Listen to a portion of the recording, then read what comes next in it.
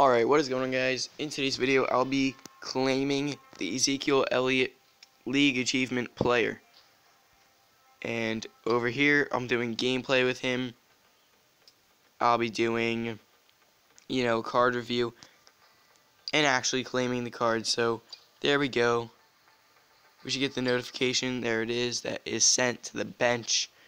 And I'm just going to go over to my lineup and I'm going to put him in. There we go. So Ezekiel Elliott, there's the league achievement player that we just got today, actually a few minutes ago. And it doesn't look like he has honestly the best speed or any achievements, but I'm sure you can train him up. Let's see what his first level will get him to. He's actually the highest overall player that I have in my lineup, so you can definitely boost him up so much It'll take a while though, of course. That's his highest level. And so he has 84 speed, 74 strength, 80 agility. That's really good.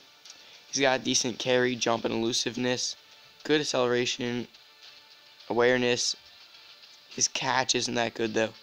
But if he does, you know, he's always got good carry and everything. He's a he's a decent player, you know.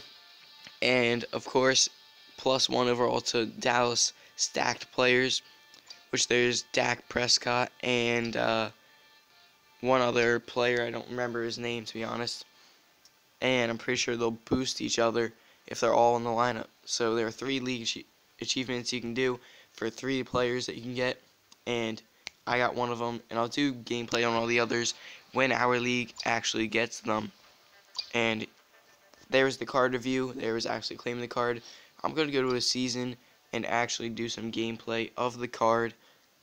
You know, I'm going to do some running plays with it, some passing plays, and I'll be right back.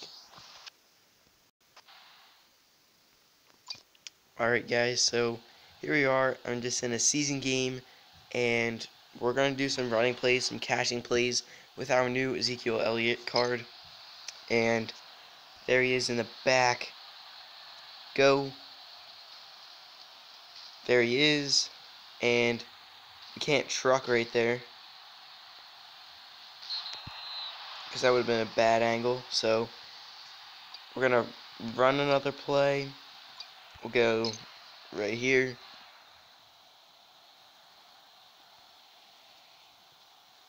Maybe we'll be able to truck. That was a successful truck. But then there were so many other people on us, so, you know. Let's go get a passing play with him. Complete 40 season achievements. That's great. Right here.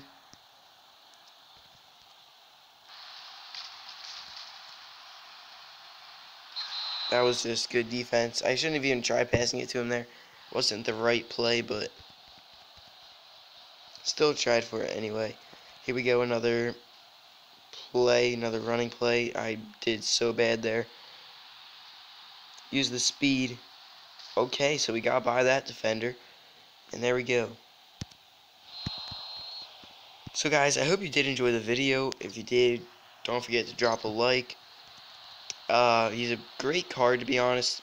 He could have a bit better stats, but still really good.